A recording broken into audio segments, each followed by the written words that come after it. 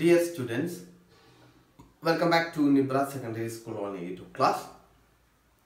Okay അപ്പോൾ കഴിഞ്ഞ ക്ലാസ്സുകളിലൊക്കെ ആയിട്ട് നമ്മൾ ഡിസ്കസ് ചെയ്തുകൊണ്ടിരിക്കുന്നത് നമ്മുടെ സിക്സ്ത് ചാപ്റ്റർ ആയിട്ടുള്ള കോണ്ടിനെന്റ്സ് ആൻഡ് ഓഷ്യൻസ് എന്ന് പറയുന്ന ചാപ്റ്ററാണ് അതിൽ നമ്മൾ കോണ്ടിനെൻസിനെ കുറിച്ചാണ് പഠിച്ചു വരുന്നത്. അല്ലേ നമുക്കറിയാം ഏതൊക്കെ കോണ്ടിനെന്റ് ഉണ്ട്? ഒന്ന് പറയൂ എല്ലാവരും ഒന്ന് പറയൂ. ഏതൊക്കെ കോണ്ടിനെന്റാണ് നമ്മൾ പഠിച്ചിട്ടുള്ളത്? അല്ലേ ഏറ്റവും വലിയ കോണ്ടിനെന്റ് ആയിട്ടുള്ള ഏഷ്യ. അല്ലേ ഏഷ്യയെ കുറിച്ച് പഠിച്ചു. ആഫ്രിക്ക. ആഫ്രിക്കയെ കുറിച്ച് പഠിച്ചു. North America. നോർത്ത് അമേരിക്കയെ കുറിച്ച് പഠിച്ചു. South America. സൗത്ത് അമേരിക്കയെ കുറിച്ച് പഠിച്ചു. അന്റാർട്ടിക്ക. അന്റാർട്ടിക്കയെ കുറിച്ച് പഠിച്ചു. യൂറോപ്പ്. അല്ലെ അവസാനമായിട്ട് കഴിഞ്ഞ ക്ലാസ്സിന്റെ അവസാനമായിട്ട് നമ്മൾ എടുത്ത് പഠിച്ചിട്ടുള്ളത് യൂറോപ്പിനെ കുറിച്ചാണ്. ഓക്കെ ഇന്ന് നമ്മൾ നോക്കാൻ പോകുന്നത് ഏറ്റവും അവസാനത്തെ കോണ്ടിനെന്റ് ആണ്. നമുക്കറിയാം എത്ര കോണ്ടിനെന്റ് ഉണ്ട്? സെവൻ അല്ലെ ഏഴ് കോണ്ടിനെന്റ് ഉണ്ട്. ആ ഏഴ് കോണ്ടിനെന്റ് നമ്മൾ ആറ് കോണ്ടിനെന്റിനെ കുറിച്ച് നമ്മൾ പഠിച്ചു. അതിന്റെ സവിശേഷതകളൊക്കെ നമ്മൾ പഠിച്ചു. ഓക്കെ ഇന്ന് നമ്മൾ അവസാനത്തെ കോണ്ടിനെന്റിനെ കുറിച്ചാണ് നമ്മൾ പഠിക്കാൻ പോകുന്നത്. അവസാനത്തെ കോണ്ടിനെന്റ് ആണ് ഏത്? ഓസ്ട്രേലിയ. ഏതാണ്? ഓസ്ട്രേലിയ. ഈ പേരിനെ കേട്ടാൽ തന്നെ നിങ്ങൾക്കറിയാം ഒരു രാജ്യത്തിന്റെ പേരും എന്തെന്നാണ്? ഓസ്ട്രേലിയ തന്നെയാണ് അല്ലേ? ഓസ്ട്രേലിയ നിങ്ങൾ കേട്ടിട്ടുണ്ടായി ക്രിക്കറ്റ് കളിയിലൊക്കെ നിങ്ങൾ ഒരുപാട് കേട്ടിട്ടുണ്ടായിരിക്കും ഓസ്ട്രേലിയ ഇന്ത്യ ഓസ്ട്രേലിയ തമ്മിൽ മത്സരം എന്നൊക്കെ കേട്ടിട്ടുണ്ടായിരിക്കും. അപ്പോൾ ഓസ്ട്രേലിയ എന്ന് പറയുന്നത് ഒരു കോണ്ടിനെന്റ് ആണ് ഒരു വൻകരയാണ്. ഏറ്റവും ചെറിയ സ്മോളസ്റ്റ് കോണ്ടിനെന്റ് ആണ് ഏത്? ഓസ്ട്രേലിയ. ഓക്കെ അപ്പൊ അവസാനത്തെ കോർഡിനേറ്റിനെ കുറിച്ച് പറയുന്നു. നമ്മൾ ഒന്നും കൂടി ഓർക്കുന്നു. ഏതൊക്കെ കോർഡിനേറ്റുകളെ കുറിച്ചാണ് നമ്മൾ പഠിച്ചിട്ടുള്ളത്? Asia Africa North America South America Antarctica Europe and നമ്മൾ പഠിക്കാൻ പോകുന്നു ഓസ്ട്രേലിയ. അപ്പോൾ എത്ര ഉണ്ട്? സെവൻ അല്ലെ ഏഴ് അപ്പൊ ഏഴ് വൻകരകളാണ് ലോകത്തുള്ളത്. ആ വൻകരകളെ കുറിച്ച് നമ്മൾ പഠിച്ചു വരുന്നു. അതിൽ അവസാനത്തെ കോണ്ടിനെന്റിനെ കുറിച്ച് നമ്മൾ പഠിക്കുന്നു. ഓസ്ട്രേലിയ.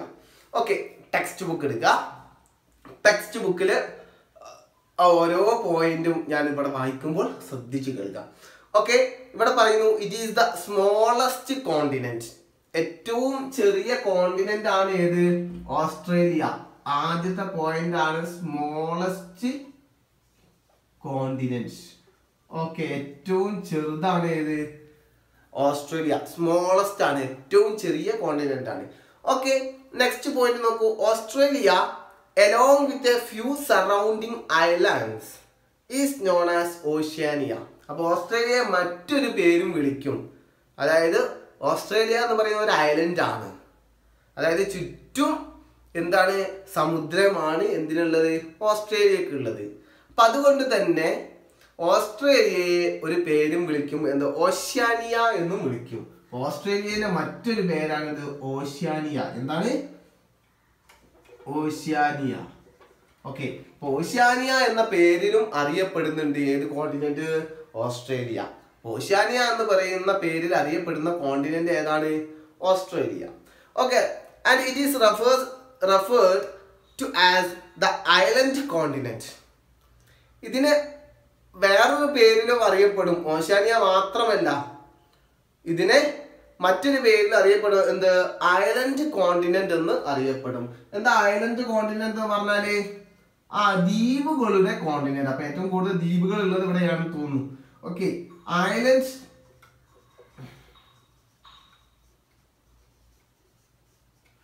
കാരണം ഈ കോണ്ടിനെന്റ് എന്താണ്? ഒരു ദ്വീപാണ്. ചുറ്റും ഓഷ്യനാണ് അതായത് ഈ ഓസ്ട്രേലിയയുടെ ചുറ്റും എന്താണ്? വെള്ളമാണ്. അതുകൊണ്ട് തന്നെ ഇതിനെ വിളിക്കുന്ന പേര് ഓഷ്യാനിയ എന്നാണ്. ഇപ്പൊ ഇതിനെ മറ്റൊരു പേരിലും അറിയപ്പെടും. ഐലൻഡ് കോണ്ടിനെന്റ് എന്ന് അറിയപ്പെടും. ദ്വീപ് വൻകര എന്ന് പറയും. ദ്വീപുകളുടെ വൻകര എന്ന് അറിയപ്പെടുന്ന ഒരു കോണ്ടിനെന്റ് ആണ് ഓസ്ട്രേലിയ.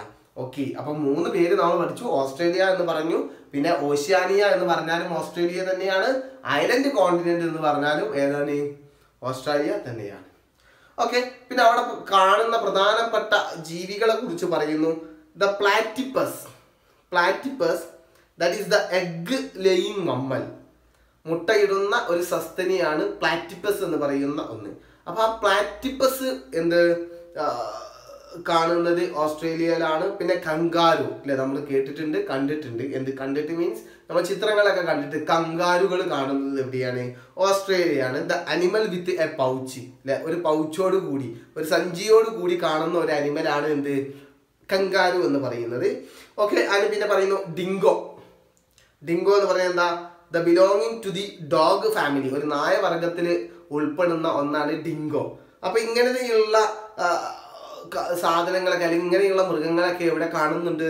അനിമൽസിനൊക്കെ ഓസ്ട്രേലിയയിൽ കാണുന്നുണ്ട്. അപ്പൊ ഓസ്ട്രേലിയയിൽ കാണുന്ന എന്ത് ജീവി വർഗങ്ങൾ ഒന്ന് platypus. Okay platypus kangaroo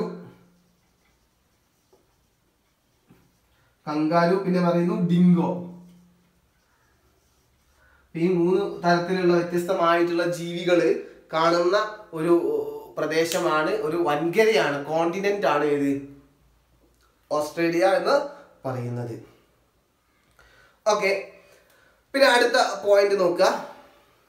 The wheat is cultivated extensively ഇവിടെ പ്രധാനമായിട്ടും ഇവർ കൾട്ടിവേറ്റ് ചെയ്യുന്നത് എന്താണ് വീറ്റ് ആണ്. വീറ്റ് എന്ന് പറഞ്ഞാൽ എന്താ? ഗോതമ്പ്.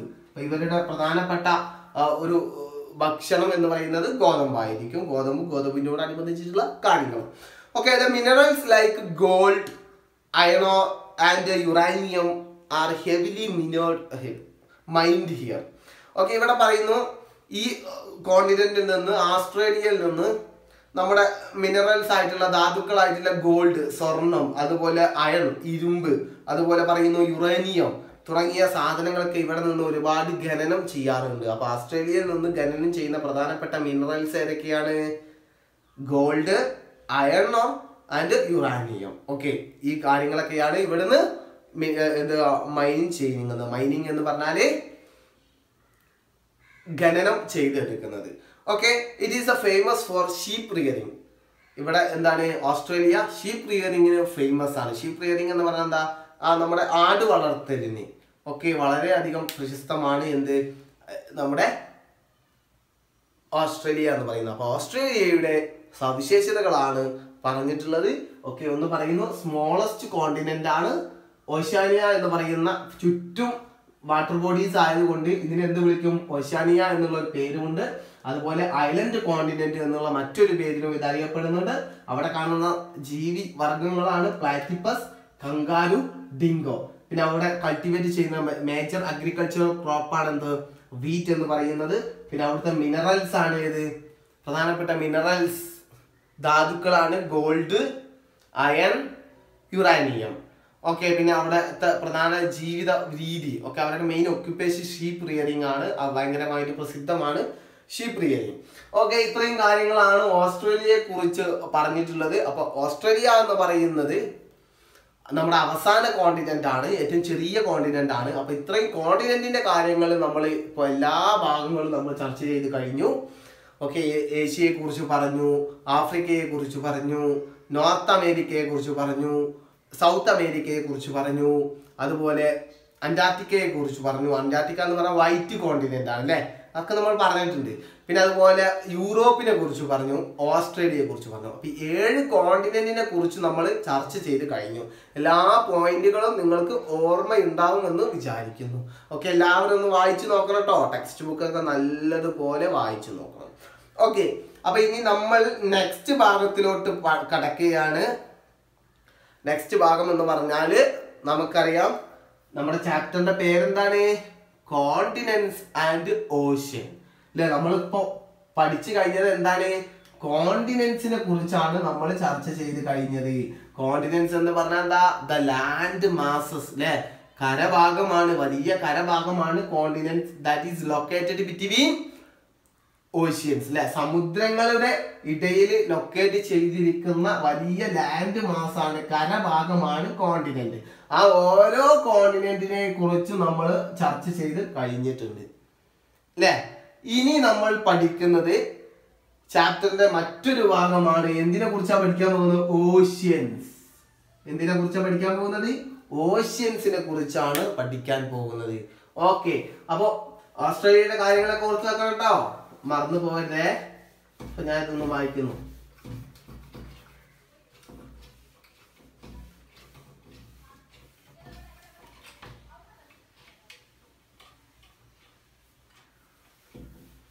ഓക്കെ അപ്പോൾ ഓഷ്യൻസ് സമുദ്രം.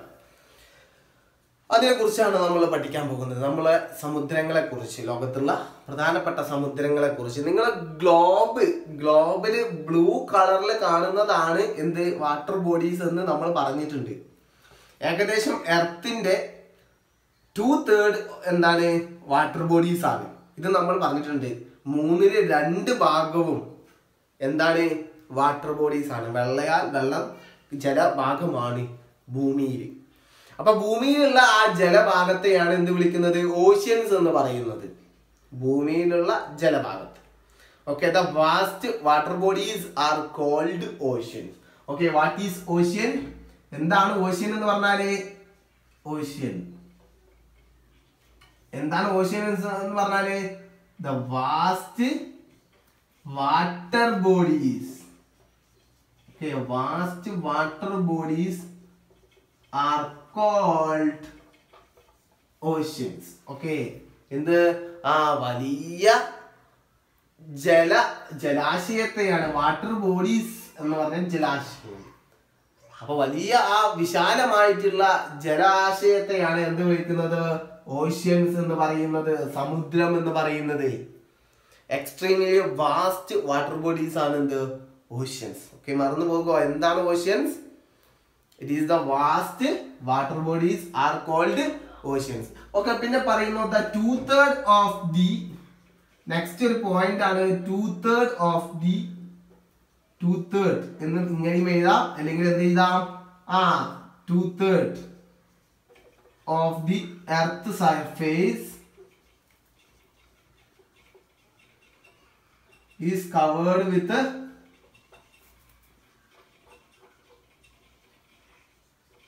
water അല്ലെ നമ്മൾ ആദ്യം പഠിച്ചിട്ടുള്ള ഒന്നാണ് എന്ത് മൂന്നിൽ രണ്ട് ഭാഗവും എർത്തിന്റെ സർഫേസ്. അതെന്താ? ഫുള്ളി കവേർഡ് വിത്ത് വാട്ടർ വെള്ളത്താൽ ചുറ്റപ്പെട്ടിട്ടുണ്ട്. അപ്പൊ ഭൂമിയിൽ മൂന്നിൽ രണ്ട് ഭാഗവും എന്താണ്? വെള്ളമാണ്. ഏറ്റവും കൂടുതൽ ജലമാണ്. അതാണ് നമുക്ക് ഭൂമിയെ ശൂന്യാകാശത്ത് നിന്ന് സ്പേസിൽ നിന്ന് നോക്കിയാൽ നമുക്ക് എന്ത് കളറിലാണ് ഭൂമിയെ നമുക്ക് കാണുന്നത്? ബ്ലൂ കളറിലാണ് അല്ലെ? ആ ബ്ലൂ കളർ എന്തിനെയാണ് ഇൻഡിക്കേറ്റ് ചെയ്യുന്നത്? വാട്ടറിനെയാണ് അപ്പൊ വാട്ടർ എന്ന് പറഞ്ഞാൽ വാട്ടർ ബോഡീസ് ആണ് ജലാശയമാണ്. വാസ്റ്റ് വാട്ടർ ബോഡീസിനെ വിളിക്കുന്ന പേരാണ് എന്ത് ഓഷ്യൻസ് അപ്പൊ vast water bodies are called ocean okay അപ്പൊ മറന്നു പോയത് അപ്പൊ ഇനി നമ്മൾ പഠിക്കുന്നത് നമ്മൾ ഏഴ് കോണ്ടിനെന്റിനെ കുറിച്ച് പറഞ്ഞു അല്ലെ? ഏഴ് കോണ്ടിനെന്റ് ഉണ്ടെന്ന് നമ്മൾ പറഞ്ഞു. അതേപോലെ നമുക്ക് അഞ്ച് പ്രധാനപ്പെട്ട ഓഷ്യനുകളും ഉണ്ട്. എത്ര ഉണ്ട് ഫൈവ് ഓഷ്യൻസ് ഉണ്ട്. എത്ര ഓഷ്യൻസ് ഉണ്ട്? ഫൈവ് ഓഷ്യൻസ് അല്ലെ? അഞ്ച് പ്രധാനപ്പെട്ട ഓഷ്യനുകളും നമുക്ക് ഭൂമിയിലുണ്ട്. ഓക്കെ ഭൂമിയുടെ സർഫേസിൽ അല്ലെങ്കിൽ നമുക്ക് ടോട്ടലായിട്ട് നമുക്ക് എത്ര ഓഷ്യൻസ് ഉണ്ട്? അഞ്ച് ഓഷ്യൻസ് ഉണ്ട്. ആ അഞ്ച് ഓഷ്യൻസിനെ കുറിച്ചാണ് നമ്മൾ പറയുന്നത്. ഒന്ന് എന്താണ്? പസിഫിക് ഓഷ്യൻസ് ഓക്കെ ഏറ്റവും ഇമ്പോർട്ടന്റ് ആണ് ഏറ്റവും വലിയ ഓഷ്യൻ ആണ് ഇത് പസിഫിക് ഓഷ്യൻ ഓക്കെ പിന്നെ പറയുന്നു Atlantic ocean Atlantic ocean okay മൂന്ന് പറയുന്നു ഇന്ത്യൻ ഓഷ്യൻ അല്ലേ നമ്മുടെ ഇന്ത്യയുടെ പേരുള്ള ഒരു ഓഷ്യൻ ആണ് ഏത്? ഇന്ത്യൻ ഓഷ്യൻ നാല് പറയുന്നു Antarctic ocean Antarctic ocean okay അവസാനമായിട്ടുള്ളതാണ് ഇത് ആർട്ടിക് ഓഷ്യൻ. ഓക്കെ അപ്പൊ എത്ര ഓഷ്യൻ ഉണ്ട് അഞ്ച് പ്രധാനപ്പെട്ട ഓഷ്യനുകൾ ഉണ്ട് എത്ര കോണ്ടിനെന്റ് ഉണ്ട്? ഏഴ് സെവൻ കോണ്ടിനെന്റ്സ് ഉണ്ട് അല്ലെ? ഏഴ് പ്രധാനപ്പെട്ട കോണ്ടിനെന്റുകൾ ഉണ്ട് എത്ര ഓഷ്യൻസ് ഉണ്ട്? ഫൈവ് നമ്പർ അല്ലെ? അഞ്ച് പ്രധാനപ്പെട്ട ഓഷ്യനുകൾ ഉണ്ട് ഏതൊക്കെയാണ് ആ ഓഷ്യനുകൾ ഏതൊക്കെയാണ് ആ സമുദ്രങ്ങൾ? ഒന്ന് പസഫിക് ഓഷ്യൻ ആണ്. മറ്റൊന്ന് അറ്റ്ലാന്റിക് ഓഷ്യൻ ആണ് മറ്റൊന്ന് ഇന്ത്യൻ ഓഷ്യൻ ആണ്. പിന്നെ പറയുന്നു Antarctic ocean and Arctic ocean okay ഇത്രയും പ്രധാനപ്പെട്ട ഓഷ്യനുകൾ ഉണ്ട്. ഓക്കെ ഒന്ന് എല്ലാരും കൂടി ഒന്ന് ഒന്നുകൂടി പറയൂ. Pacific ocean Atlantic ocean Indian ocean Antarctic ocean Arctic ocean okay അതിന്റെ പേരുകൾ മറന്ന് പോകരുത്. അപ്പൊ ഇത്രയും പ്രധാനപ്പെട്ട ഓഷ്യനുകളുണ്ട്. ഓക്കെ ഇനി നമ്മൾ എന്താ പഠിക്കാൻ പോകുന്നത്? ഈ ഓരോ ഓഷ്യനെ കുറിച്ചും നമ്മൾ എന്ത് പഠിക്കാൻ പോകുന്നു. ഓക്കെ? എല്ലാവരും റെഡി അല്ലേ? ഓരോ ഓഷ്യനെ കുറിച്ചാണ് നമ്മൾ പഠിക്കാൻ പോകുന്നത്. ആദ്യത്തെ ഓഷ്യൻ എന്ത് Pacific ocean okay? Pacific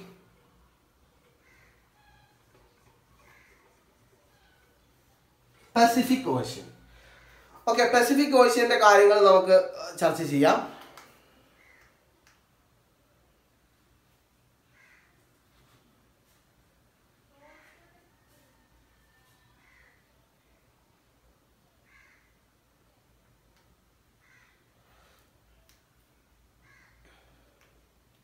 okay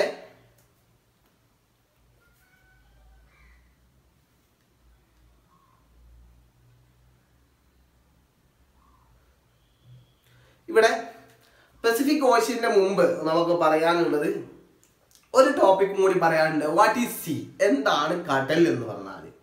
what is C C നിങ്ങളെല്ലാവരും കടൽ കാണാൻ പോകാറുണ്ട് അല്ലേ കോഴിക്കോട് ബീച്ചിൽ പോയാൽ നിങ്ങൾക്ക് കടൽ കാണാം. ആ പരപ്പനങ്ങാടിയിൽ നിന്ന് നോക്കിയാലും കടൽ കാണാം. ഇനി കണ്ണൂർ പോയി നോക്കിയാലും കടൽ കാണാം. അപ്പോൾ കടൽ എന്ന് പറയുന്നത് എന്താണ് കടൽ? വാട്ട് ഈസ് സി എന്താണ് കടൽ?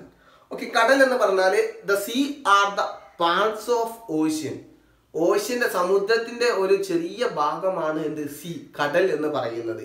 That is partially surrounded by land കരയോട് ചുറ്റപ്പെട്ടിരിക്കുന്ന അല്ലെങ്കിൽ കരയോട് അടുത്ത് നിൽക്കുന്ന സമുദ്രത്തിന്റെ ഒരു ഭാഗത്തെയാണ് എന്ത് വിളിക്കുന്നത്? കടൽ എന്ന് വിളിക്കുന്നത്. നമ്മൾ കോഴിക്കോട് ബീച്ചിൽ പോയിട്ട് നമ്മൾ നോക്കിയാൽ ആ അതൊക്കെ കടൽ കണ്ടോ എന്ന് പറയില്ലേ?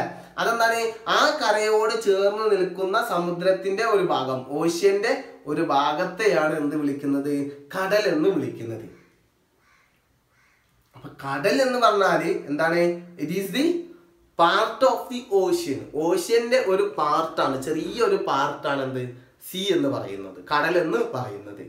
അപ്പൊ നമ്മൾ കാണുന്ന ആ ഒരു ഭാഗം കരയിൽ നിന്ന് നമ്മൾ നോക്കിയാൽ കരയോട് ചേർന്ന് നിൽക്കുന്ന സമുദ്രത്തിന്റെ ആ ഭാഗത്തെയാണ് എന്ത് വിളിക്കുന്നത്? കടൽ എന്ന് പറയുന്നത്. ഓക്കെ അപ്പൊ ആ പോയിന്റ് മറന്നു പോയത്.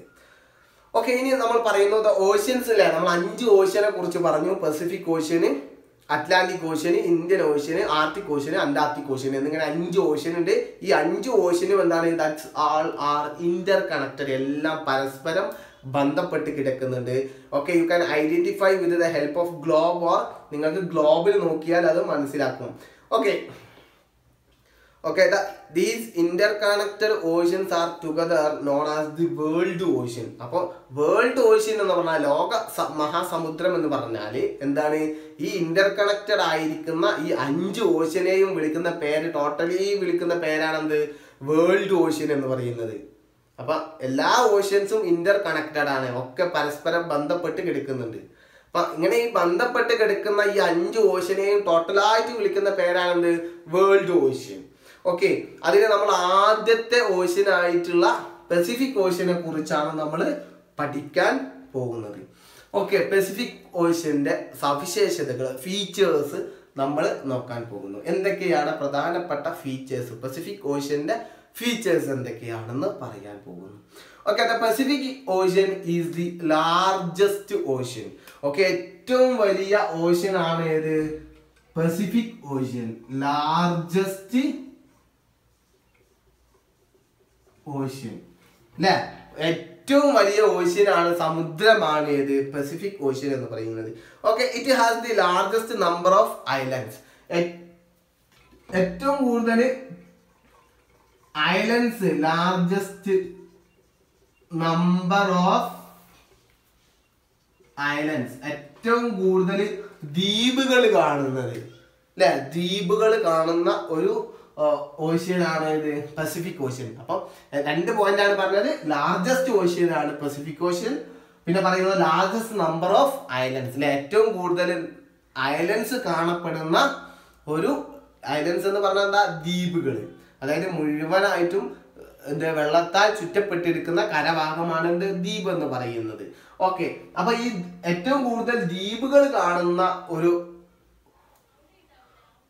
ഓഷ്യനാണ് പസഫിക് ഓഷ്യൻ ഓക്കെ പിന്നെ പറയുന്നു ദ ചാലഞ്ചർ ദ്വീപ് in the Pacific ocean is the world deepest point അപ്പൊ ലോകത്തിലെ ഏറ്റവും ഉയരം ആഴമുള്ള ഉയരം ആഴമുള്ള പ്രദേശമാണ് ഏത്? ചാലഞ്ചർ ദ്വീപ്.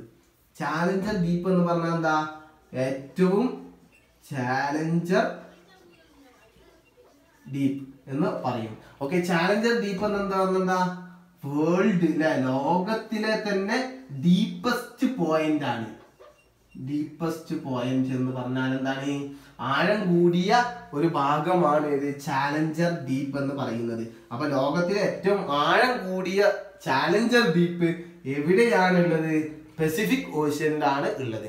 ഓക്കെ ലോകത്തിലെ തന്നെ വേൾഡിലെ ഡീപ്പസ്റ്റ് പോയിന്റ് ആണ് ചാലഞ്ചർ ഡീപ്പ് അത് എവിടെയാണ് ഉള്ളത് പസഫിക് ഓഷ്യനിലാണ് നമുക്കറിയാം ഏറ്റവും ഹയ്യസ്റ്റ് പീക്ക് ഏതാണ്? ഹയ്യസ്റ്റ് പീക്ക് ഏറ്റവും വലിയ കൊടുമുടി ഏതാണ്? എവറസ്റ്റ് കൊടുമുടിയാണ്. അത് ഏത് കോണ്ടിനെന്റിലാണ് ഉള്ളത് അതായത് ഏറ്റവും ഉയരം കൂടിയ പ്രദേശം ഹയസ്റ്റ് പീക്ക് എവറസ്റ്റ് ആണ് അല്ല? മൗണ്ട് എവറസ്റ്റ് ആണ്. ആ മൗണ്ട് എവറസ്റ്റ് ഏത് കോണ്ടിനെന്റിലാണ് പറയൂ. ഏത് കോണ്ടിനെന്റിലാണ് ഏഷ്യ. അല്ലെ? ഏഷ്യയിലാണ്. അതേപോലെ ഏറ്റവും ഉയരം കൂടിയ കൊടുമുടി അല്ലെങ്കിൽ ഹയസ്റ്റ് പീക്ക് ഏഷ്യ എന്ന് പറയുന്ന കോണ്ടിനെന്റിലാണ് അപ്പൊ ഏറ്റവും ആഴത്തിലുള്ള പ്രദേശം ഏറ്റവും ആഴ ഭൂമിയുടെ അടിയിലേക്കുള്ള പ്രദേശം ആഴത്തിലുള്ള പ്രദേശം അത് അതിന് പറയുന്ന പേരാണ് ചാലഞ്ചർ ദ്വീപ് എന്ന് പറയുന്നത്. ആ ചാലഞ്ചർ എവിടെയാണ് ഉള്ളത് പസഫിക് ഓഷ്യനിലാണ് ഉള്ളത്. ഓക്കെ ചാലഞ്ചർ ദ്വീപ് അല്ലെങ്കിൽ ചാലഞ്ചർ ഗർത്തം എന്നൊക്കെ പറയും. അത് എവിടെയാണ് ഉള്ളത് പസഫിക് ഓഷ്യനിലാണ് ഉള്ളത്. ഓക്കെ പിന്നെ പറയുന്നു the Pacific ocean is the world largest fishing ground Pacific ocean എന്ന് പറഞ്ഞാൽ എന്താണ്? ആ ലോകത്തിലെ തന്നെ ഏറ്റവും വലിയ ഒരു ഫിഷിംഗ് ഗ്രൗണ്ട് ആണ്. മത്സ്യബന്ധനം നടക്കുന്ന പ്രദേശമാണ് ഏത്? പസഫിക് ഓഷ്യൻ അപ്പൊ അതായത് ഈ ഒരു ഓഷ്യനിൽ നിന്ന് ഈ ഒരു സമുദ്രത്തിൽ നിന്ന് കൂടുതലും എന്ത് കിട്ടുന്നത്? മത്സ്യം. ലോകത്തിൽ മത്സ്യസമ്പത്ത് കിട്ടുന്നത് എവിടെ നിന്നാണ്? ഇവിടെ നിന്നാണ്. Okay Pacific ഓഷ്യനിലാണ് it is the largest fishing ground in the world okay and also rich in minerals ആ അപ്പൊ ഫിഷിംഗ് ലാർജസ്റ്റ് ഫിഷിംഗ് ഗ്രൗണ്ട് ആണ് ഏത്? ലാർജസ്റ്റ് ഫിഷിംഗ് ഗ്രൗണ്ട് അത് മാത്രമാണല്ലോ. എന്ത്? റിച്ച് ഇൻ മിനറൽസ് അല്ലെ മിനറൽസ് എന്ന് പറഞ്ഞാൽ ഒരുപാട് ധാതുക്കൾ ഈ കടൽ ഈ ഒരു സമുദ്രത്തിൽ പസഫിക് ഓഷ്യനിൽ ഒരുപാട് ധാതുക്കൾ എന്തുണ്ട്? ഈ ഒരു സമുദ്രത്തിൽ ഉണ്ട്. ഓക്കെ അപ്പോൾ പസഫിക് ഓഷ്യൻ എന്ന് പറഞ്ഞാൽ ലോകത്തിലെ തന്നെ എന്താ ഏറ്റവും വലിയ സമുദ്രമാണ് പസഫിക് ഓഷ്യൻ അതിന്റെ സൈസ് എന്ന് പറയുന്നുണ്ട്. സൈഡിൽ ഒരു എക്സ്ട്രാ റീഡിങ് കൊടുത്തിട്ടില്ലേ? അതിന്റെ സൈസ് അത് size of the Pacific ocean okay the Pacific ocean along with its associated seas covers the one third of the earth total area ഭൂമിയുടെ ടോട്ടൽ ഏരിയയുടെ മൂന്നിൽ ഒരു ഭാഗവും ആര് കവർ ചെയ്യുന്നുണ്ട്? പസിഫിക് ഓഷ്യന് കവർ ചെയ്യുന്നുണ്ട്. ഓക്കെ മൂന്നിൽ ഒരു ഭാഗവും പസഫിക് ഓഷ്യന് കവർ ചെയ്യുന്നുണ്ട്. അപ്പൊ അത്രയും വലിയ ഒരു സമുദ്രമാണ് ഏത്? പസഫിക് ഓഷ്യൻ എന്ന് പറഞ്ഞാൽ അപ്പൊ it is the largest ocean അതുപോലെ ഏറ്റവും കൂടുതൽ ദ്വീപുകൾ കാണപ്പെടുന്ന ഒരു ഓഷ്യൻ ആണ് ഇത് Pacific ocean largest number of islands we can see in the Pacific ocean okay the world deepest point ആയിട്ടുള്ള ചാലഞ്ചർ ഡീപ്പ് നമ്മൾ കാണുന്നത് എവിടെയാണ്? പസഫിക് ഓഷ്യനാണ് അതുപോലെ വേൾഡ് ലാർജസ്റ്റ് ഫിഷിംഗ് ഗ്രൗണ്ട് ഇല്ല മത്സ്യബന്ധനം നടക്കുന്ന ഒരു ഓഷ്യനാണ് ഇത് പസഫിക് ഓഷ്യൻ അവിടെ ഇവിടെ Pacific ocean rich in minerals ആണ്. റിച്ച് ഇൻ മിനറൽസ് പറഞ്ഞാൽ ആ ധാതുക്കളുടെ ഒരുപാട് നിക്ഷേപങ്ങൾ എവിടെയുണ്ട്? ഈ ഒരു പസഫിക് ഓഷ്യനിൽ ഉണ്ട്.